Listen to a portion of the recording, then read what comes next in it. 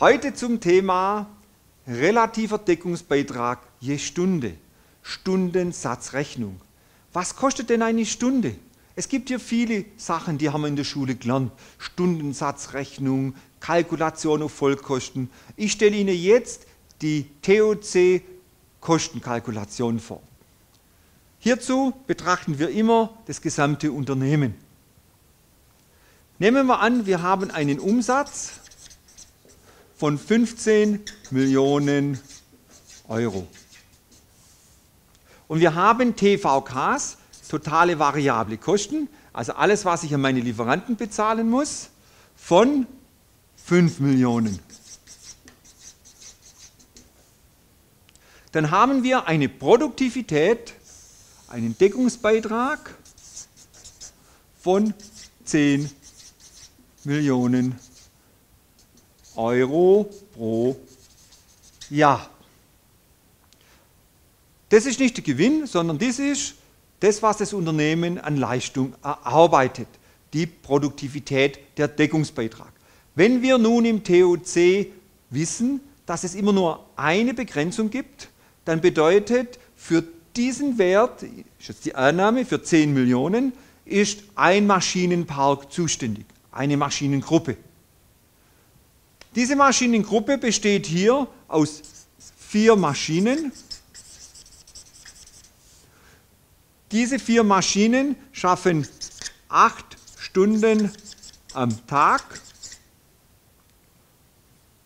mal zwei Schichten. Okay?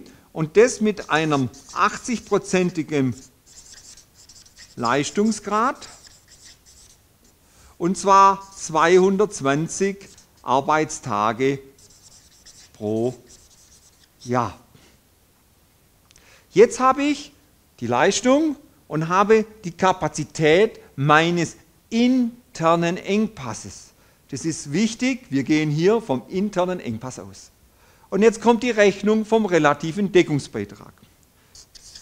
Der relative Deckungsbeitrag ist der Deckungsbeitrag, nämlich die 10 Millionen Euro pro Jahr, geteilt durch die Leistung meines Engpasses. In diesem Augenblick heißt es vier Maschinen, acht Stunden mal zwei Schichten sind 16, mal 80 Prozent mal 220 Arbeitstage ergibt 11.264 Achtung, Stunden pro Jahr. So, jetzt kann ich das Jahr kürzen und jetzt kommt Folgendes raus.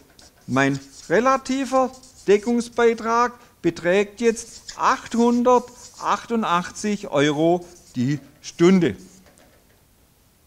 Dies heißt so viel, wenn Sie einen internen Engpass haben, Sie haben Rückstände, und eine dieser vier Maschinen steht eine Stunde in diesem Umfeld, dann haben Sie einen entgangenen Gewinn von 888 Euro.